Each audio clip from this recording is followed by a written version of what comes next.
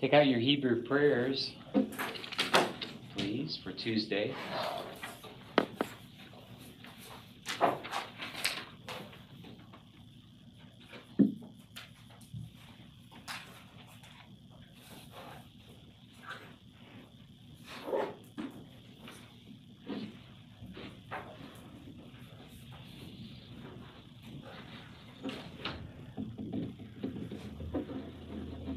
Okay, Hebrew prayers for Tuesday. Adonai imachem. Mitpalala. Yihyu leratzon imrei fi. Vahegyon libi lefanecha. Adonai tzuri vegoali. Amen. Let the words of my mouth and the meditation of my heart be acceptable to you, O Lord, my rock and my redeemer. Amen.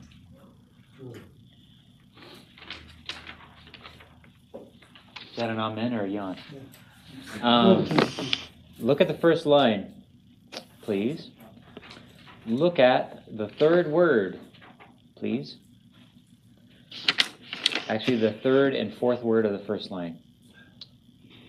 See where I am? Imre fi. Everybody see where I am? Anybody out there? See where I am? Okay. Um, that is the phrase, words of my mouth. Words of my mouth. So you notice in Hebrew, or in English, we have to use three words. Words of, actually four words, my mouth. Four words, right? Hebrew, it's two words. Um, and that Tsere Yod ending there is creating that relationship uh, of possession, words of my mouth. The, pro- the possessive pronoun is coming from the e, the chirik yod ending on fi. So we haven't we haven't learned that yet. Um, so that's what we're talking about today is how um, nouns can be joined together in this genitival relationship, this of relationship, which actually often it's possession, but it can be more than that. Um, the of is the word we use in English most of the time. Um, so that uh, it's called a construct phrase. That's what we're going to be looking at today. We'll have one of those in our prayer this morning. Tyler was saying, "I am so ready for the quiz today. Don't panic." I said to him, "You're actually ready for the exam uh, we're having, not the quiz." So that, that's good. Um, we are still having the exam in here, but uh, think of your quizzes as your study guides. So I'm going to draw from those quizzes um, and to go back and review those those things that I ask you on the quizzes. That's what we're going to. I want to ask you all those things, but some of those things, and then review your vocabulary because all the vocabulary we've learned so far is fair game for this exam. Dante? Yeah, that was gonna be my question, like, so vocabulary all the way up to chapter thirteen. um, through this. Um, yeah, today. Um, today is 13. We're doing 12 and 13 today. Yeah, so everything up to, as it says in the syllabus, everything up to um, up to the midterm. Okay, so we're uh, there's no quiz. We would have had quiz quiz today covering vocabulary, but I thought you wouldn't prefer not to have a quiz right before the exam, so you can just be focusing on the exam. But we still need to do that vocabulary. So don't yeah don't miss that. Um, today, the reason I put these together is because they're really the same subject. They were just split between two chapters, so it's going to make most sense to do them together. But that means I don't think it's a, a lot more grammar, but it is more vocabulary. It's 20 words rather than 10. Tyler? I heard you saying to Ignacio, obviously the one quiz that you put up on the board. Yeah. You don't have like a copy of. I think I put two on the board, didn't I? I'm just wondering if the ones you didn't put on the board, if like we could get copy for practice, or be filling them out.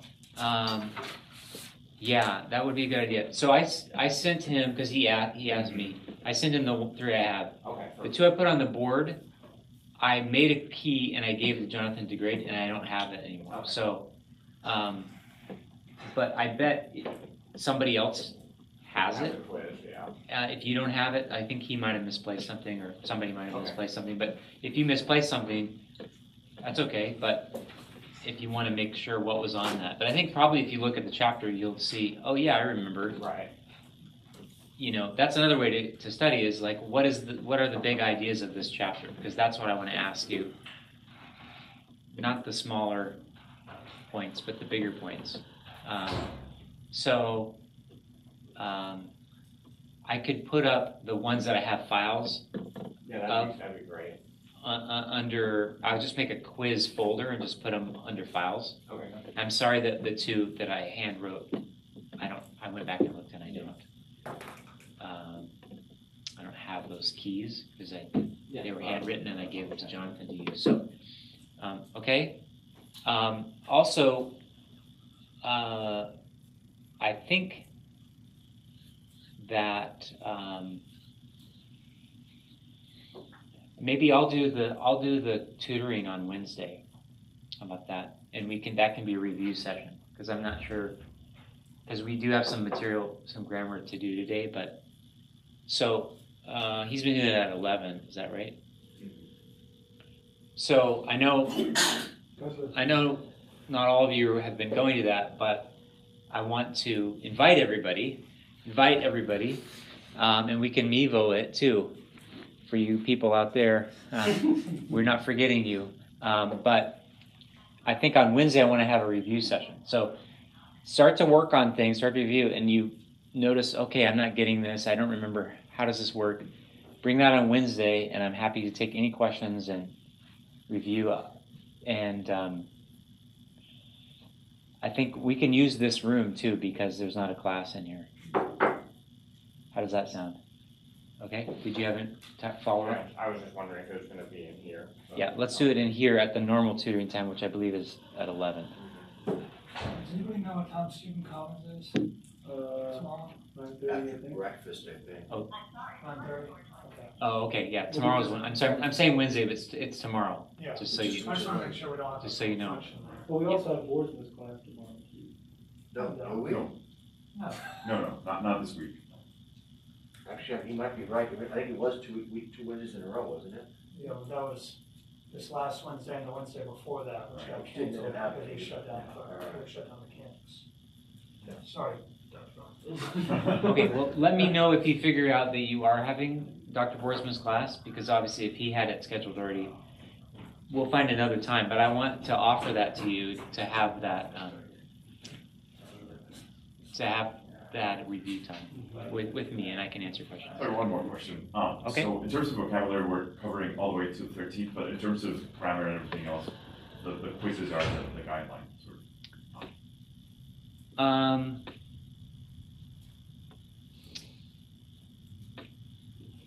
Yeah, I, what do you, do you wanna have, you, I need to quiz you, or I need to test you over what we're covering today. So, would you like to have it on the midterm or on the final? Midterm. Do it now? No, it's fine. Hmm, I feel, I hear a mixed response here. So, um, We can make the decision about, at the end of class. Uh, no, no. I guess I'm gonna have to make the decision. Um, I think I want to put it on there. It's really uh, a, two new forms, so it'll be. It's not gonna be. I want to, Yeah, I think we'll just for consistency's sake because that's how I presented in the in um, the syllabus. That anything covered before the midterm is fair game for the midterm. So um, let's let's count what we do today, which is basically like if there's a paradigm in the chapter, that's the that's the most important thing. Okay, and and it's a very simple paradigm today, and I'll show you how it relates to and builds upon the noun paradigm you already know. Okay, so for consistency's sake, let's just say um, anything up to today is fair game for the midterm. All right, let's review our noun endings. this is a good place to start, I think, here. So what's the ending of, uh, that we're gonna use on the masculine singular of our noun Susan? Okay, good. You're getting wise. I can't trick you like I used to be able to trick you. There's no ending. So, um, how about how about feminine singular? Right here. Saw, Susa. What, what's the vowel and consonant? say. Okay. Masculine plural. Who can do that? Raise your hand. Who can do it? Tyler. Christine, Susim. which is, um, Kira, Joe, and that, Very good. Period then.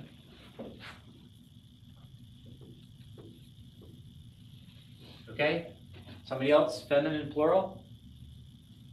Gregory. So, so, Very good. Susot. Can you can you tell me the name of the vowel and consonant? That's the, uh, is it the Bob, Keurig Bob or something like that? Uh, cholim vav. Colon. Yeah. So this the the dot that's up high is the cholim. That's Cholim vav tav. Very good. Okay. Susot. So. Um, we were recently looking at the adjectives, all right? And we, we saw from the adjectives that we had these three different uses of the adjective, and the attributive adjective follows, the noun it modifies in Hebrew. I think I mentioned to you, actually, there aren't that many adjectives in Hebrew. Um, and compared to English, there aren't that many. So the way Hebrew compensates for the lack of adjectives is that it uses nouns as adjectives or to modify other nouns, the way we would tend to use adjectives or, or add a lot of adjectives. So, um, and that's called the construct state. That's the construction that we are going to look at today, the construct state. Um, so, let me give you an example. So, we could say um, the holy mountain. Okay? So, holy, there is an adjective that is modifying mountain. But in Hebrew, they would say the mountain of holiness. So there's no adjective there. You see?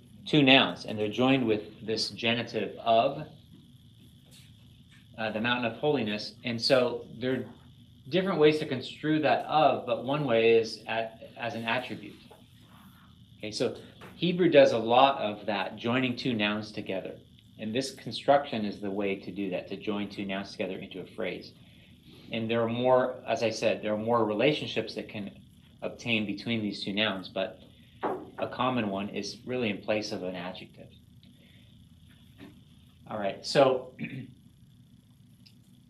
um, in the paradigm for the construct state, oh, let's go back up a, sec- a second.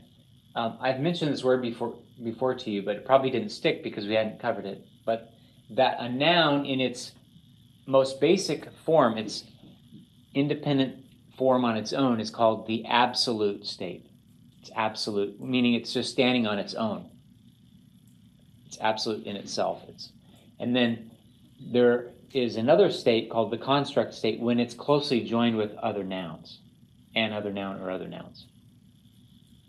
In this, in what we often translate in English as an of construction or genitive construction. So, um, mountain uh, or mountain of holiness, mountain of. So that's those are English examples. So now we're going to look at what, what what we've been learning so far. All these vocabulary items are, have been in the absolute state. They're just on their state in the state on their own by themselves. Now we're going to start to look at what is the construct state. Okay, so that's important to get that that dualism there of the two states. Okay, these are all absolute. They're all standing on their own. They're not in construct state. Um, so the masculine singular is going to look exactly the same. There's no special ending. And in the case of Sus, it is a very stable word. Why? Because it has this long vowel or super long vowel here, the shurik, which never changes. Um, but other nouns are gonna have vowel changes in the masculine singular that will indicate the construct state. Not an ending, but a vowel change. But not in the case of Sus. So right now, this is just showing us that there's no, there's no ending in the absolute and there's no ending in the construct, okay? So first of all, we, we're gonna do this paradigm, then we'll start to look at some examples of how you create a construct state relationship. All right, so Susa, comma te in the absolute. But in the construct, susat.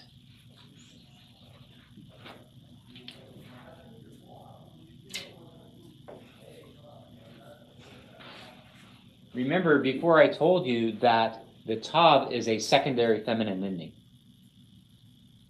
And here we see it. So it's linking up with that knowledge that we have about the secondary feminine ending, that this ending, at, patach tav, sus at, um, is the construct ending. Okay? So, um, so in this side of the paradigm, there's only one difference from the absolute. It's in the feminine singular. And on this side, there's only going to be one difference in the masculine plural. Okay, so susim in the absolute, sus a in the construct. Uh, you can think about it, it still has that yod, but it doesn't have the mem anymore, but it has a different vowel, tsere, tsere yod. Um, and those two um, sounds go together. A, that's how you say that. You don't say a, a, just a. Tsere okay?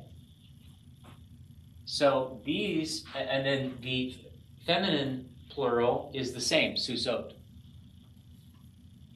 So if you take the absolute noun paradigm, you only make two changes to it in the feminine singular and in the masculine plural. The endings are different. At instead of a, a instead of im.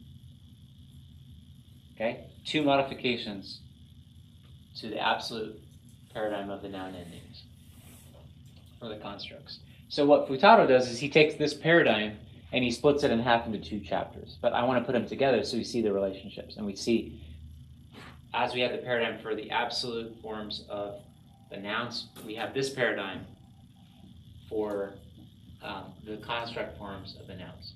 So, big question, the big question that we just had was, what about the midterm?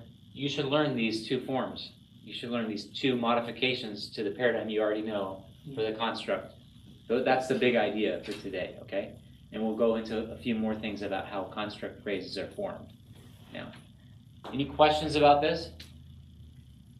The paradigm. We're gonna. I'm sure you have questions probably about construct state and relationship of words. So, how, how do the vowels change in the construct state if it's not that super long vowel? Is there a, According to the same rules that we learned when we learned vowel changes. Oh. But basically, what's going to happen? It's hard to do it. To I'm going to illustrate it over here, I'll, and I'll show you some examples of vowel changes. Okay. It's nice to start with Sus because it's stable. Okay, but basically, what you're going to create in a construct state um, relationship is a single accentual unit. So remember that in a normal accentual unit, we're talking about the word, and the accent goes on the last syllable in most cases in Hebrew. So that same principle applies, but now it's over multiple words. So it's as if the accent goes to the last word. And this is going to be the first word um, in, a, in a construct phrase of two words. So the vowels are going to change as if it were these distant syllables from the accent. Okay, we'll look at some examples. It's mu much easier to see it there. So the right now the big idea is that um, in Sus it's regular, so that's that's helpful. But there there will be some changes in the masculine singular that could indicate it as the construct rather than the absolute. All right? Okay? Let's re, let's say this paradigm. Repeat after me. Sus, Sus, susat, susat, susei, susei, susop. susot. So this would be translated horse of, mare of, horses of, mares of. Okay, that's how we do it in English. The, the default translation for the construct relationship in English is just to use of because of is, we use it in a very similar way. That word. It has a, a very similar um, set of different uses, a genitive relationship. Uh, if you remember, remembering back to Greek, the genitive. Okay, that's that's what we're talking about here. That sort of a relationship. All right, you follow that? Okay, so let's create um, a construct relationship, and um,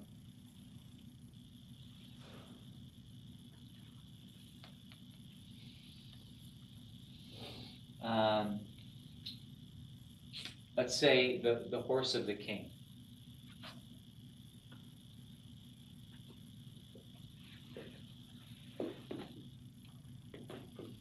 Okay, and we have Melech.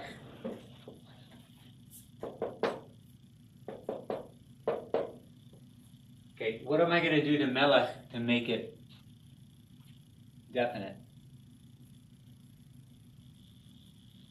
Article, uh, uh, ha. Okay, hey, what's the vowel? Patach, what else? What's that? Strong dagesh in the mem, good. Okay, three things, remember, in a regular uh, situation. Hey, patach, strong dagesh. Ha-melech, okay, the king. Now, um, in, in, in Hebrew, when we, we form the construct simply by juxtaposing these two nouns.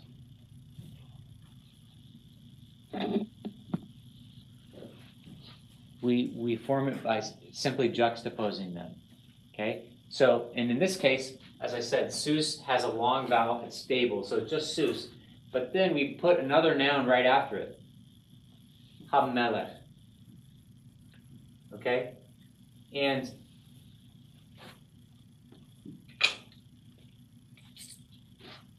the the definiteness of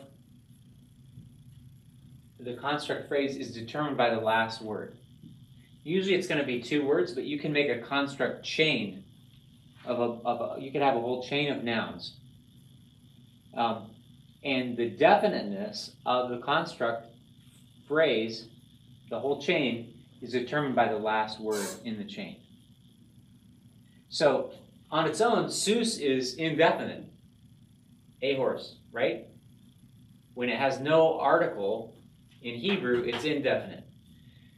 Um, and it would we would look at this and we'd say, oh, a horse, the king.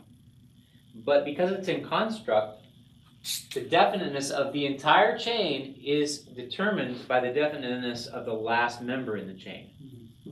Okay, in this case, the second word. So this is translated, and it uh, the definiteness is found here. This is translated the horse of, that's the construct, Jen, translation we use in English, the king.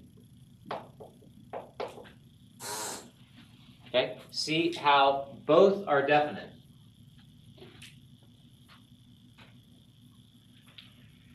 Uh, and if, if we if we extended it, um, we could say sus melech hammachut malchut the horse of the king of the kingdom. Every every single word is definite in the whole uh, chain, but only the last one is marked as definite with the definite article. Okay, questions about that?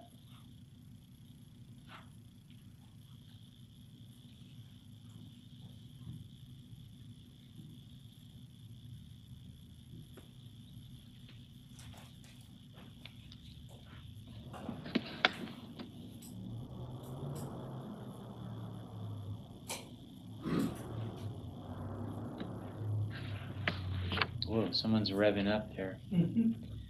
Um,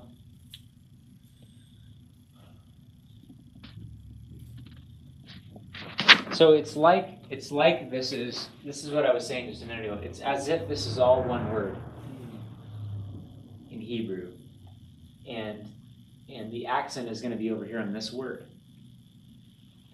uh, rather than rather than here. It's that same principle of accent going to the end in Hebrew, but in this case, it's going between words. Ian. So if that suits that um, masculine singular Uh-huh. were to be um, absolute rather than a, a construct, we would use the indefinite, right? A horse of the king. So, good question. You can't use the construct to convey a mixed um, group of definiteness.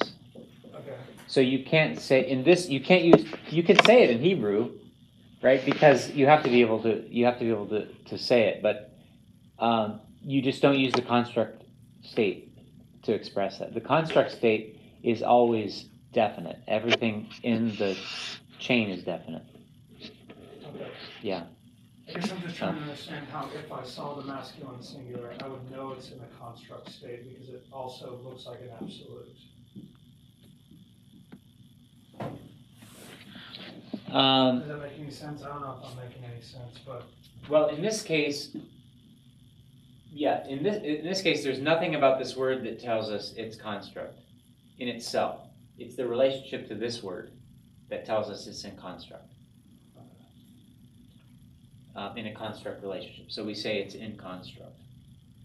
Um, it's the context. So um, if you have two nouns right next to each other and they're not fulfilling another function in the sentence, then this, you know, your best bet is that they're a construct. okay.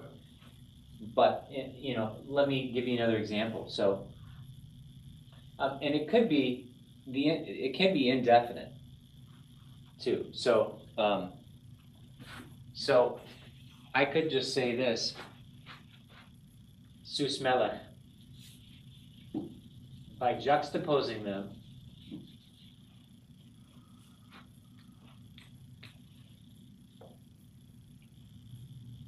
I am putting them in construct. And this is a horse of a king. So you, it could be all definite or all indefinite. And it's this word that always determines it because you don't ever put any articles on the words that precede the last word. It's always the last word that determines. So the indefiniteness of this melech is what tells us this entire construct uh, phrase is indefinite. So this is this is, I would cha- change this to a horse of a king. Okay, so.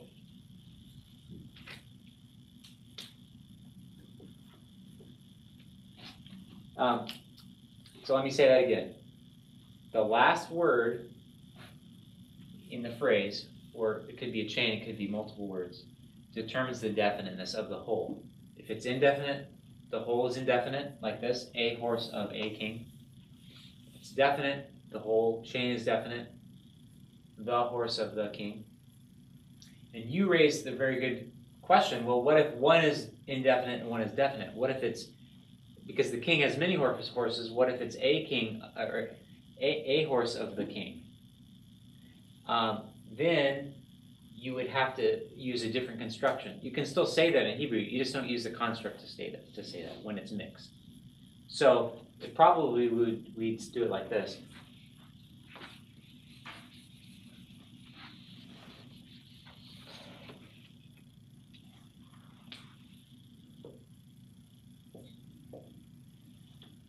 Sus lamelech. What did I add to? it? What did I do? Yeah, in Hebrew, two, that lamed is often used for possession,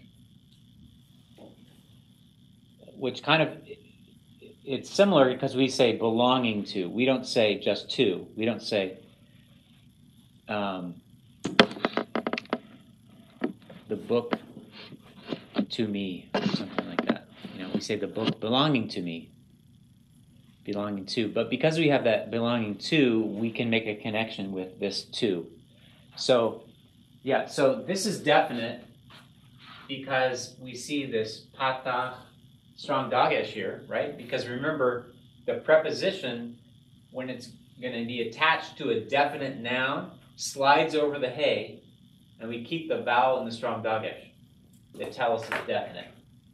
So here we have, it's not in construct now because we have this preposition in between. In a construct chain, you can't have anything that comes in between. If it does, it breaks that up. Okay? So so here we have an indefinite noun, sus, a, a horse, lamelech, to the king. And this would be translated a horse belonging to the king. Okay? Uh, one is indefinite, one is definite. You can create mixed phrases, but then you don't use the construct to do it. Any, oth- any other questions? Yeah. The king is definite because the lamed makes it be definite. Not the lamed. The lamed is the preposition Why is king definite in that sentence? because it has this patach strong dagesh, which are Oh, of the definite article. Right. And if it was indefinite, it'd be lemelech with a shva, oh, right? Yeah. Remember it now? So that you always you add the article first. So if I took melech and I said ham melech, hey patach strong dagesh, then I slide the preposition over the hey and I get lam melech, to the king. Coming back to you? Yeah. Okay, good. Okay? Everybody following those main ideas about the, the construct? It's all indefinite or all indefinite. And the definiteness is determined by the last word in the phrase, okay? Um,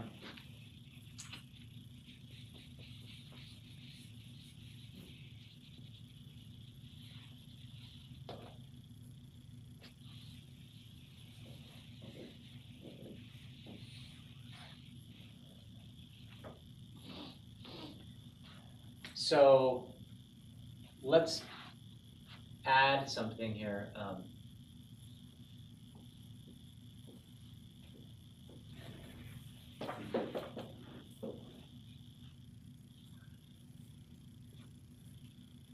Devarim. What does devarim mean? Words. Okay. Okay, this is in the absolute, masculine plural, words in the absolute state. Okay. Now, if I want to say the words of the king, I'm I'm going to take it and I'm going to change it uh, with that ending, the a ending. So it's going to be.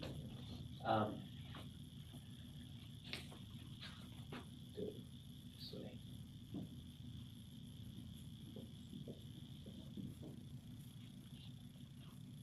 Okay, so let's take these vowels.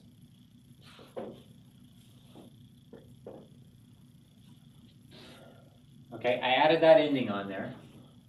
But now we have we have syllables that are susceptible to change.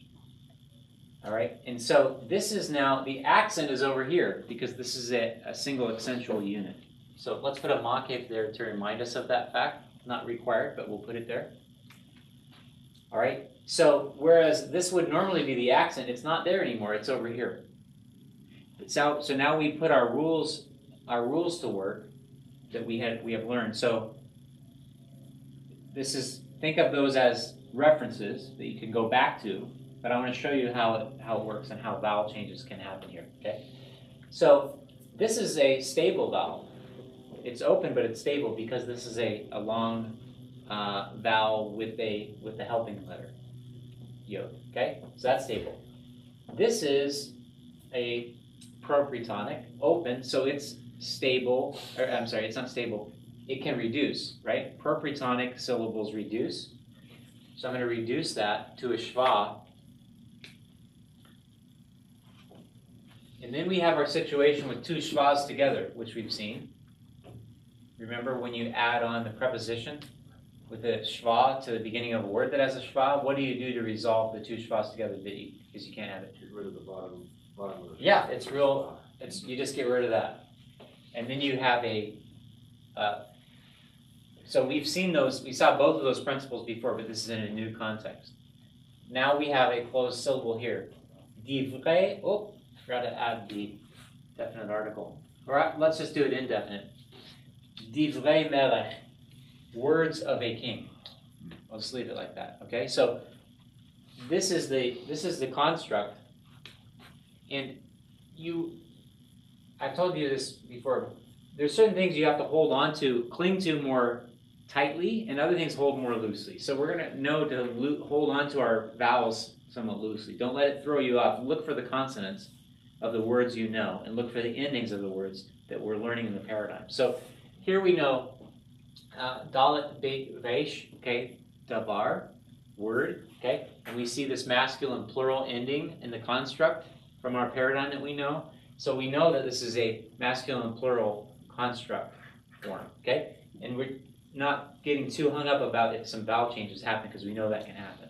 Even if you can't produce them, you can know that that. So this is the form and how it is produced. So divrei divrei melech, words of a king. Okay, if I want to make it definite, it would be divrei hamelech, the words of the king. Everything becomes definite then. Ignacio? How do you know, um, just at first glance, which one is the, uh, tonic, pretonic, and, uh, propretonic in, in this case? Um, Um, because every um, yeah, in this case, you assume that the accent is on this word, Hmm. and um, and then you um, they're basically all going to fall into the propretonic, as if they're going to be reducing but you start the vowel changes from this end and go this way.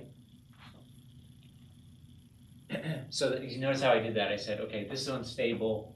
This one reduces first, then that affects this one. That's how you. That's how you. It works out. So yeah, it's we're just moving our rules. Um, we're expanding them to to say this can happen between words, rather than within a word, which we've already seen.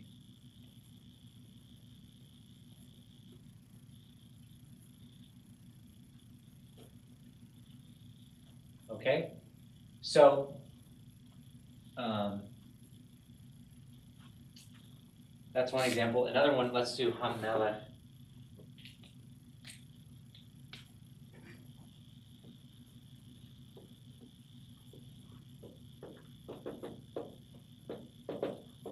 Okay, we're going to say the word of the king. So um, the absolute form is davar with two commences, davar.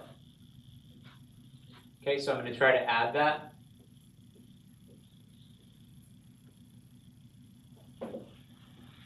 Okay. Oh, weak dagesh in there. Okay. So accents over here. So this is a closed syllable. Closed syllables are stable, remember?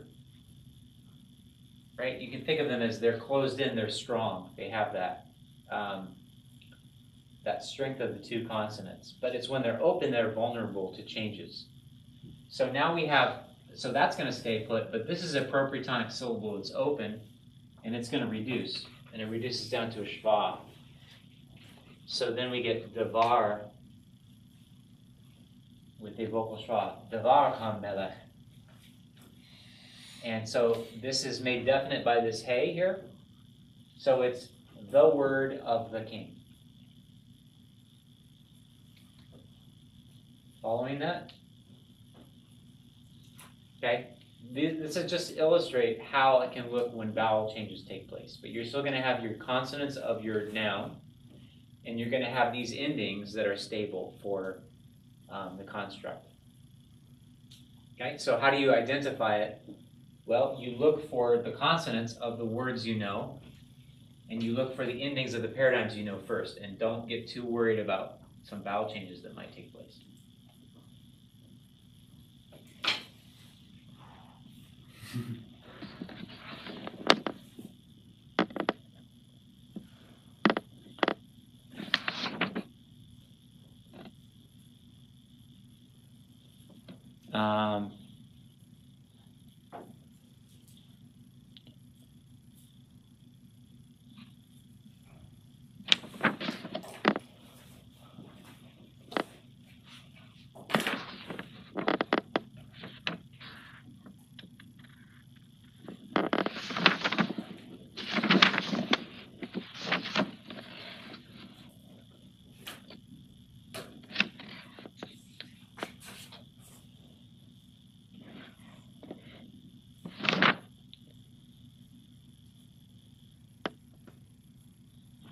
Okay, so let's look at um,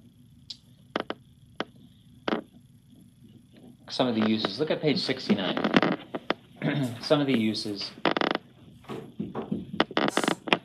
Um, in that box, you have the how to express the mixed form when one is definite and one is indefinite. You don't use construct. You use usually some kind of prepositional construction. Okay, but the standard relationship and meaning in English for the construct is the genitive relationship conveyed by the word of. So you can always you'll always be right to just start with the with the translation of for the relationship between the two words. Okay, and then uh, we can move on to become more precise because of can mean different things, right? Um, and but two common uses of it, there are more, but two common uses of the genitive are of possession and of attribute or an adjectival use of it. All right, so Sus um, the horse of the king, that clearly conveys possession. The king, the second item, possesses the first item, the horse of the king. Okay? So, um, or Sefer HaKohen. Sefer HaKohen was to be translated the scroll of the priest. The last, uh, not the last example. It's under the sec. Uh, do you see where I am? You go down to it says construct relationship expresses possession. In loose per- possession, then typically that section, the last example is Sefer HaKohen, the scroll of the priest. Another example of possession. Okay, it makes sense that the priest would possess the scroll. But then you could have an example like this Beged HaKodesh. Repeat after me Beged HaKodesh. Okay, that's that next example there in the next, next one. The construct relationship is adjectival. It's definite because the second word is definite. The garment of the holiness.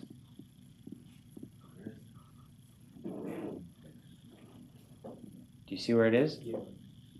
The, that's literally the garment of the holiness. So, does it make sense to say the garment is possessed by holiness? Not really. No, it doesn't really make sense. It makes more sense that holiness is an attribute, right, or describing the art, the article of clothing, the garment. And so, so your translation would be correct, the garment of the holiness, but it would be awkward in English more than, um, you know, the scroll of the priest. We can say that in English. It's it, it's you know not the smoothest way to say it, um, but in this case, we really need to to put it into an adjectival construction. So the holy garment. So it's definite. The the whole thing is definite. We take the noun and we make it an adjective that it, that it modifies the noun. Okay. What's another? What would be another way to express in English a, a smoother way to express the scroll of the priest? Dante, The priest's scroll. the priest's scroll, apostrophe S, because um, now that doesn't make sense in this example. The garment of the holiness, the holiness is garment because it's not possession. But the previous example, the, we rightly identify the relationship as one of possession. Therefore, we can use the apostrophe s, which see of conveys the the open g- genitive relationship, open to interpretation. But apostrophe s is conveying possession in English. So we can only do that when we identify that as the relationship between the two elements. Okay, those are the two most common. There are some others, but those are the two most common genitive relationships or construct uses that we have possession and the adjectival use. Any questions about that? Okay. Um, so the last thing here is that um, this is this is the right uh, form that we should learn in our paradigm here. The ot ending as the feminine singular of the construct. But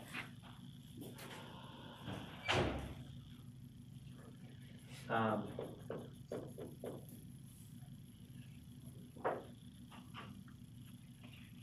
you can sometimes have eh, which Futato calls it segolized ending, right? Because the segles, it looks like it looks like a segolate. Yeah, that is that is where it goes, right? Well, what is a segolate noun? It usually has the two features, two segles and the accent on the first syllable. See that accent with two? But this is actually an ending in this case. So he says sometimes with a feminine um, noun, you get this ending as an alternative alternative construct ending. So let's look at the example in 12.8. Okay? Milchama means war or battle. Okay, it's an absolute state, milchama. But in a case like this, um, it could become. Uh, so repeat after me, milchama. Okay, it could become milchemet hayom. Repeat after me, milchemet hayom. Okay, the see how he has the blue chet there. He's telling you that's where the accent falls in this ending. Et. Et. So we have the tav ending still here, right? But instead of the patach, we have these two segles with this accent, a segolized ending. So that's an alternative. That's a, that you might see, but it doesn't appear as often as the ot ending, the standard feminine singular construct ending.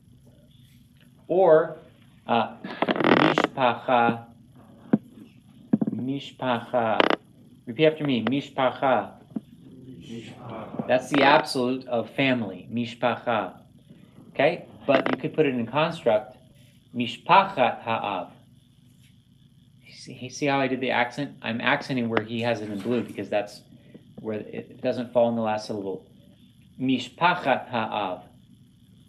Repeat after me. Mishpachat ha'av. Okay, that's also considered a segolized ending. But there are no segles. Why is that the case? Because of the guttural? Exactly right. So this is the, the same thing that we saw with the segolates, right? Just like the segolate nouns that have two segles and an accent on the first syllable, um, you can have a segolate noun like na'av with two patachs because of the guttural, the ayin in na'av. Here, the guttural chet is influencing these vowels. Remember, gutturals prefer A-class vowels under them and before them. So that's why it becomes mishpachat ha'av, the family of the father, or the father's family.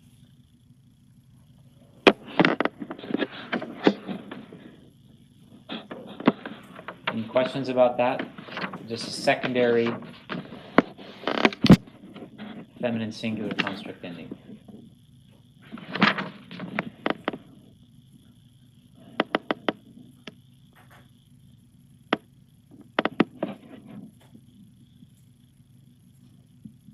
I have a question Go ahead. from, not about what we were talking about. a second ago.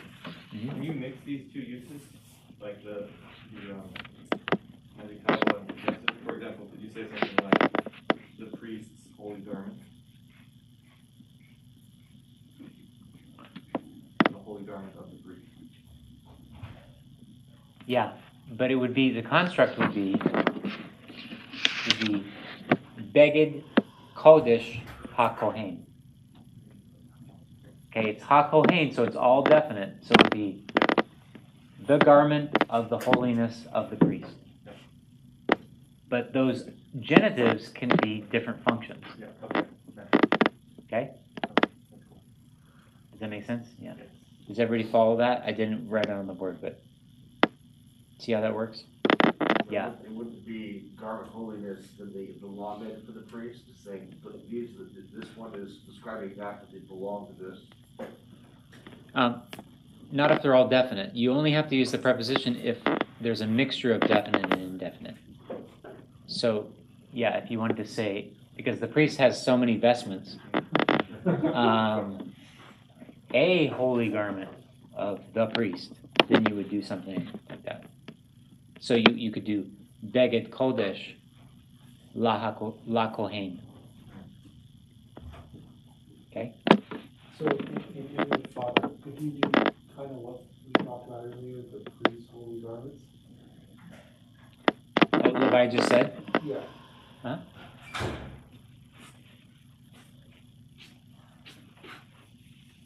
So you're saying they're all definite? Everything is definite? Yes. So I can use construct for all of them? Okay, So.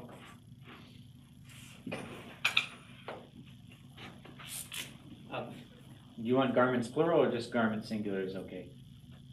Uh, yeah. Let's keep it, let's keep it singular. Okay, bagged garment.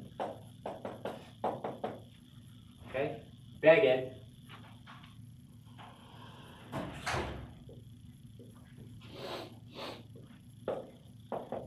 Okay, the construct only operates with nouns.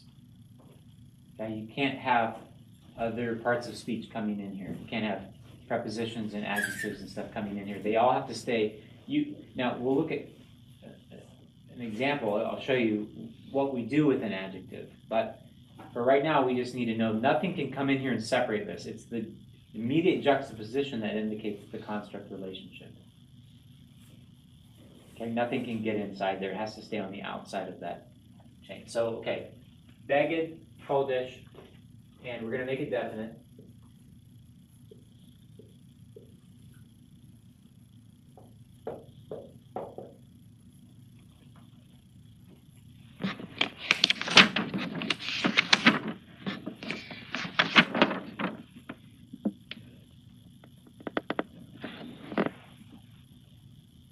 Okay?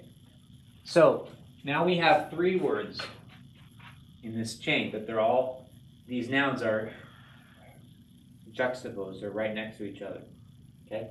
So to tell, and we have a feeling this is going to be a construct, okay?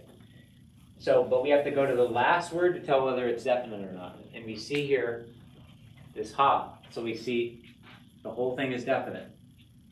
So now we say, um, the garment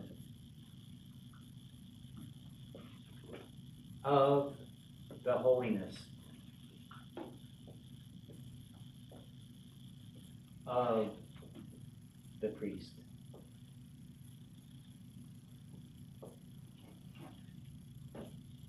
Okay, so we have two ofs because the ofs go right here.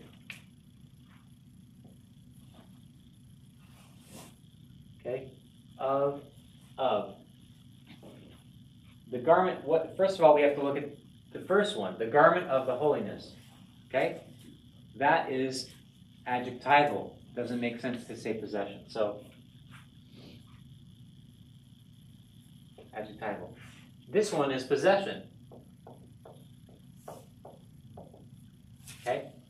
So, the garment of the holiness of the priest could then be translated as the holy garment belonging to the priest, or the priest's holy garment. Right? Once we get, we have this, it's called the literal translation first, where we just have all the words and the relationships out there. Then we can try to make it a more idiomatic or smoother English translation. But we want to get this out there first. Then we can work with that to get it into. So we could we could go into the priest's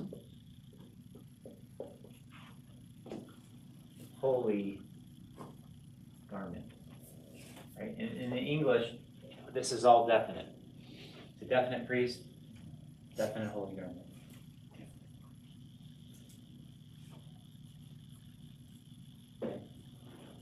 Very relevant discussions for us, okay? Um, so now let's do it. Let's do it differently.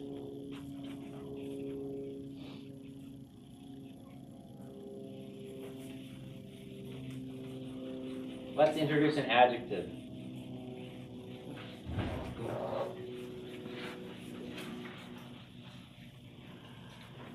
Okay, so let's say.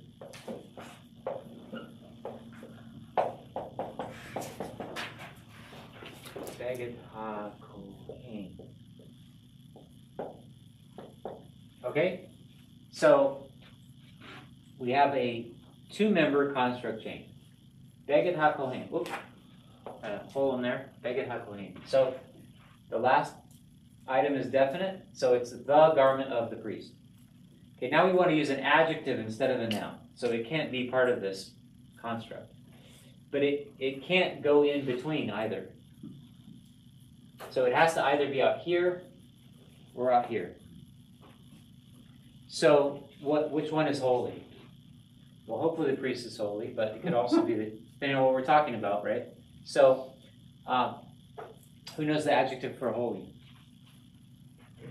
Kadosh.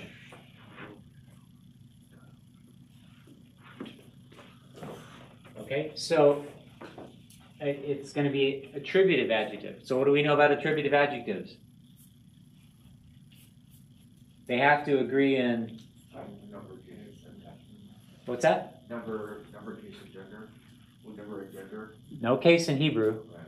so whew, no no cases. But don't have to worry about that. So gender, number, and what? Indefinite. and definiteness. Num- gender, number, and definiteness. So it, let's we're going to use an attributive adjective. We also know it has to follow.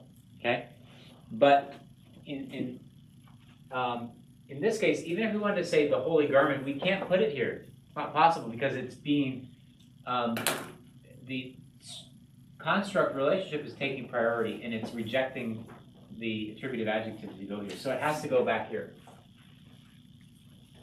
So, but it's, but this whole phrase is definite, the beged is definite, definite, so it has to be.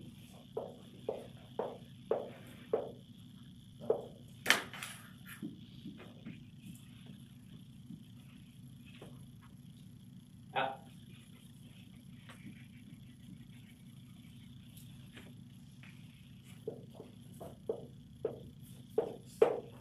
Okay. Okay, kadosh. So we have, um, because it's in construct here, so this is not construct. This is an adjective, attributive adjective, okay? So we have the garment of the priest, the holy. Now, which one is holy, the priest or the garment? It could be either one, because we, we, we're not allowed to put it here. If we could put it here, it would make it clear that it was the beged, but we can't put it here, so it has to go back here. So it's ambiguous in this case. It could be either one. What determines the context? What are you talking about in the context? Are you talking about the holiness of garments or priests? Okay? So now if this was um, bogade, garments, hakohen of the priest, the garments of the priest. And we had this adjective, it could only be the priest because it wouldn't agree with the masculine plural. You see how that works? So in this case, they're both masculine singular, so it could go with either one. But if they're different, it the adjective has to agree in gender, number, and definiteness. So that's going to tell you which one it goes with, even if it can't stand immediately following the noun because of the construct relationship. See how that goes? See how we're building on things we know about the adjective?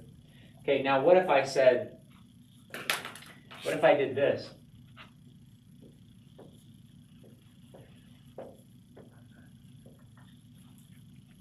What if I did that? What if I said, Kadosh Beged HaKohen? The garment of the priest is holy. All right, what do we, what kind of a use is, what, what part of speech? It's a part of Part of, part of speech? adjective, Yeah. okay? But now it's, what's the difference? It's preceding this construct phrase and it's not definite anymore, okay? So what did you say it was? I said it was predicative. Predicative, right? Because remember, the attributive adjective must follow and agree in gender, number, and definiteness. The predicative adjective uh, may precede, often precedes, and is never definite. It's always indefinite. So now we have actually, we, we know that this is the garment of the priest, and now we can say the garment of the priest is holy. And in that, in that case, it's gonna be, it's gonna be this item, it's the garment that's holy. Uh, because that's the main thing we're talking about. This is the, the, the main word that relates to the sentence, the first word. Because this is giving its, uh, a secondary, uh, you know, modification of what's, who's possessing it. So this would be translated, um, the garment of the priest is holy. Predicative adjective used with a construct relationship, construct phrase. Okay? Good, we're putting things together, that's good. Um, so, I mean, the same thing for prepositions, they can't come in in the middle here. If they do, it just, it's not construct anymore, it breaks up the construct. Nothing can come in there except the definite article on the last item. Ian? Is there a way of, um, rearranging these words in a, in a substantival, arrangement? Is there like a substantival position? Um, you would have to introduce a verb, Okay, because remember, substantival is an adjective that acts like a noun. Mm-hmm. So, what do nouns do? Well, they're subjects of nouns, they're direct and indirect objects of nouns. I'm sorry. What do nouns do? they're subjects of verbs, or direct and indirect objects of verbs. Sorry, I got I, I got mixed up in the way I was saying it. Does that do you follow that? So you have to have some jobs, some noun jobs for the adjective to do. And really, we don't have any noun jobs in a phrase like this. But in a larger sentence, we could. But it would, it doesn't really, it gets farther away from the construct. It's doing a different job in the Gotcha. sentence. Yeah.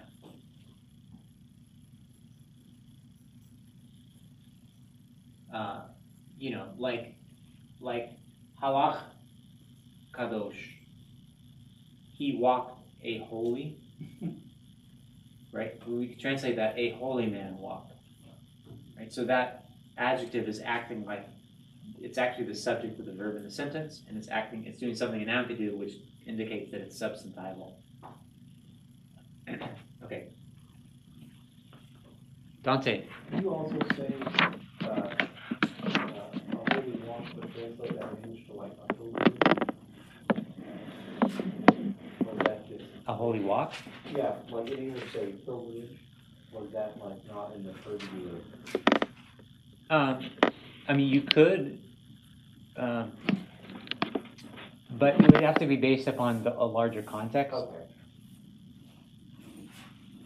you know, so, but you're best off, you first start and you, you try to get it as literal as possible, just word by word, literal as possible, and figuring out the relationships. And that's down the, that's down the road to that pilgrimage, the pilgrimage down the road to get to some, something much more, you know, contextual or idiomatic. You can do that, but you gotta make sure you're taking the right steps to get to arrive there, rather than jumping to, oh, some other meaning that's does that make sense? Yeah. far from what we're talking about here but um, but you could see when we got down to the priest's holy garment that sounds it's perfect english and but we we've actually we've accurately depicted the different relationships between those words in that but we made sure because we took the steps in between to get there. Okay.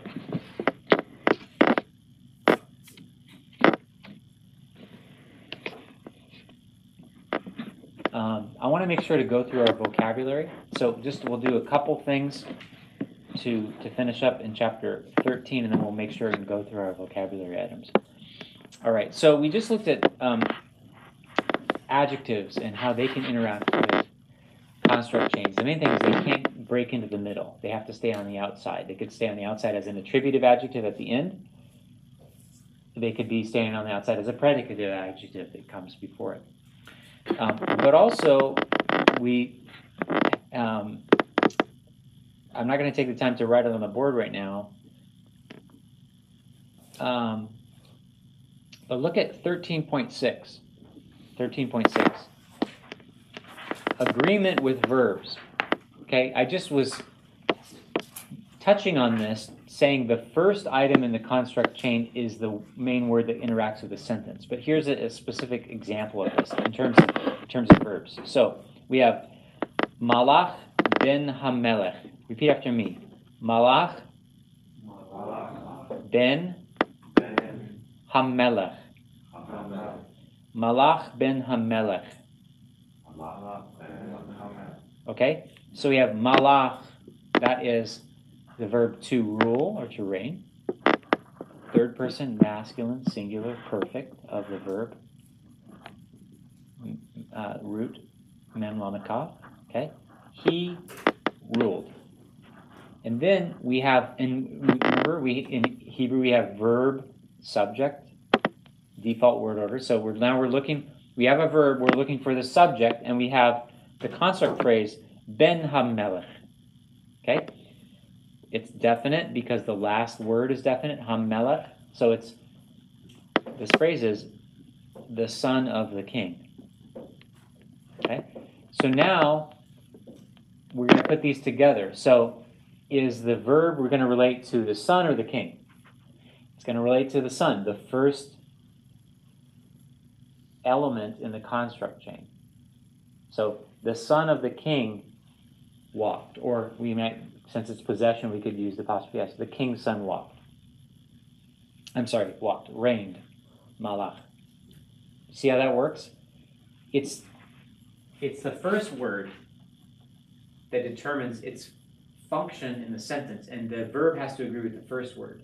It, the last word has its own function, which is to determine the definiteness of the entire thing. But it's the first word that we're actually, first of all, talking about in the sentence, and that's going to agree with the verb. So we could go on and have and have plurals or feminines or whatever, but since it's the verb, uh, the verb is masculine singular. The first item is going to be masculine singular. Those two have to agree with each other, right? But if I made it plural, then the verb would have to be plural. You see how that works?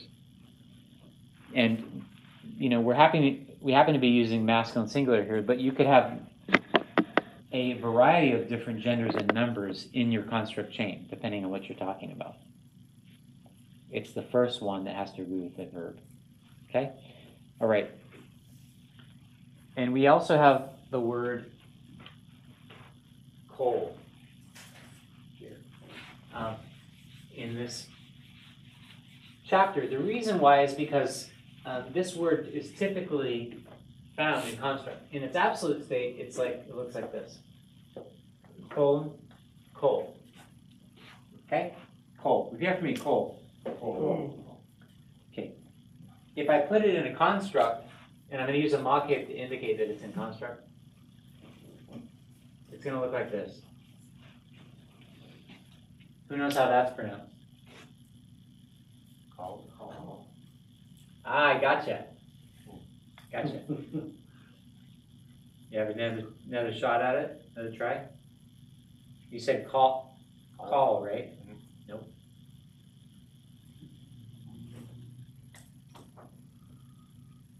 That was a good first try, but it's not right. I, I, I gotcha. Okay? It's in, it's in construct. That means the accent's going over here. Hmm. So what we have here is we have a closed syllable, right?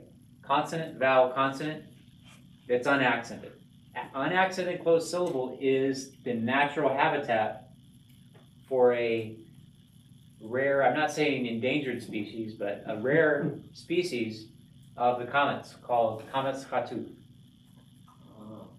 And Qamets Chatuf is pronounced O, just like just like the holem. So this is pronounced coal whatever whatever it's in construct with all, of whatever So this is actually this is the example you should learn and memorize as the to tell you not only to know this word because it appears so often. It appears all the time, all of the time in Hebrew, but um, because it's a perfect, beautiful, common example of the qamets chatuf. You see what I'm saying? Learn this example. Know that it's kol, it's pronounced kol, and now you've learned not only this word but also the qamets. Okay? All of whatever it is. That's even though it has this absolute form, it almost always appears in this construct form. That's why it's included in this chapter, because it just goes in the construct discussion. All of whatever. All right, let's do vocabulary. Go back to chapter 12, vocabulary. Ready to repeat after me? Chapter 7, uh, page 71, chapter 12, upper right hand corner. Page 71. Repeat after me. Adon. Adon. Adon means Lord Master. We know Adonai, which means that I ending is my Lord or my Master. That's what it, when, that's the typical substitute for the divine name. Adonai, my Lord. That's where we get our convention of Lord in all caps from. This word being used as a substitute for the divine name. In this case, it doesn't have that suffix, just Adon. Do you hear that similarity? Adon, Adonai. Okay? It's the title Lord. Repeat after me. Zahav. Gold.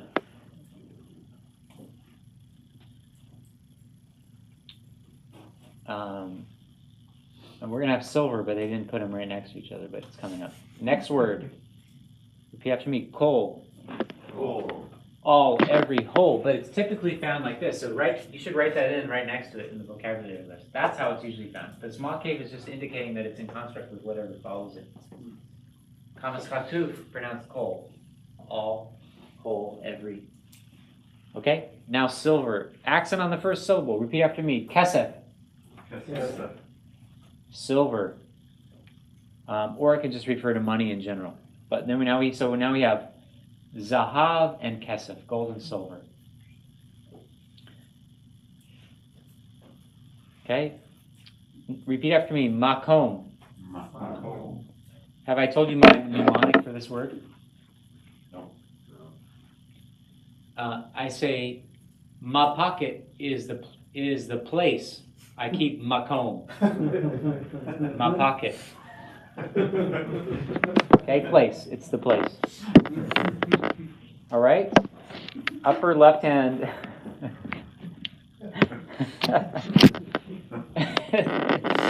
uh, see, this is good material I give give you guys. Okay. Upper left hand, uh, uh, top of the left hand column. Re- it accent on the first syllable. Repeat after me. Eved. Means a slave or a servant. And the verb avad means to serve. So this is what God says. I want my people to come out of Israel to be to to avad, to serve me, to be my servants.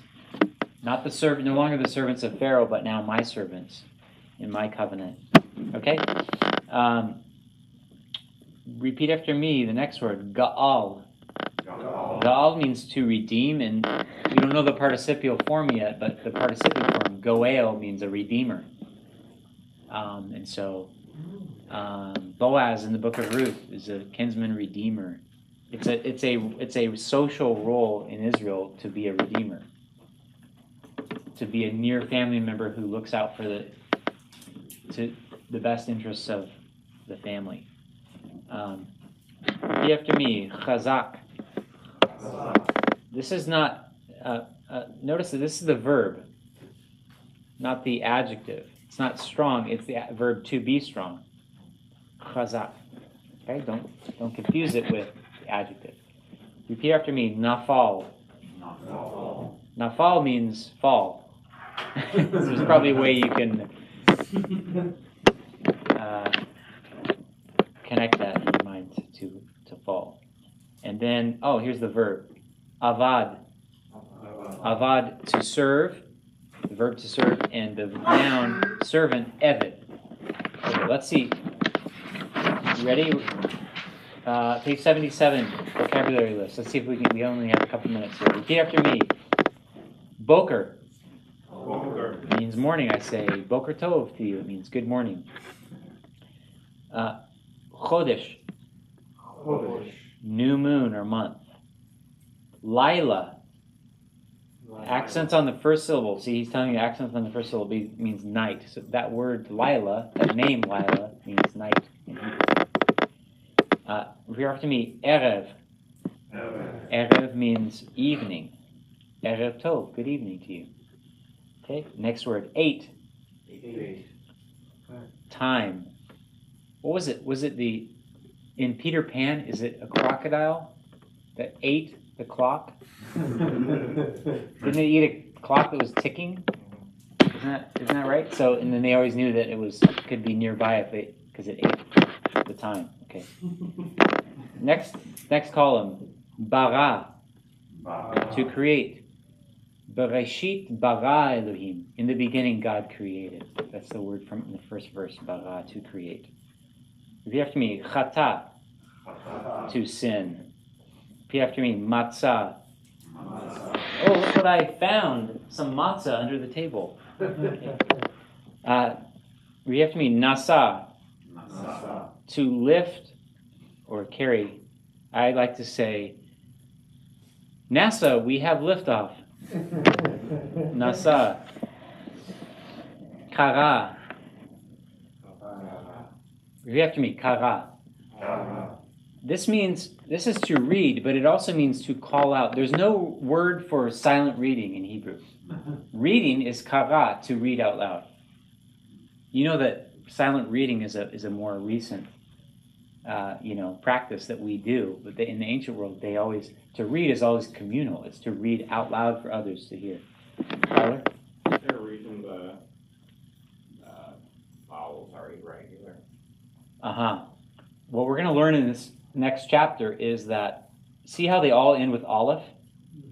Every single one. So it's that aleph that's affecting the pat, what we would assume was a patach, to become a qamets. So again, he always introduces things in vocabulary before the chapter when you discuss it. So there's this vowel class that we're going to see where it ends with an aleph, and that affects the vowel pattern. It's a good observation. Well, I was just trying to figure out Yeah. how I'm gonna remember that it's a verb without the pata, but I guess the is. Yeah, you could think of it as it's normally would be a patach, but it's because of the aleph, it's lengthening to the qamets. Okay, so let me know if there is Borisma class on Wednesday. Otherwise, we'll plan on having a review session. I hope as many of you as can do it will will come. And if you're getting out of isolation, I hope you can join us too, and we'll we'll stream it. If let me know if you want to stream Wednesday. Okay, bye. Have have a good next class. The syllabus says it's Tuesday, Friday. Oh, is it? We should be available on Wednesday. I did. The Borisman syllabus. Where's syllabus? I, I do not. want to have it. Bring it tomorrow.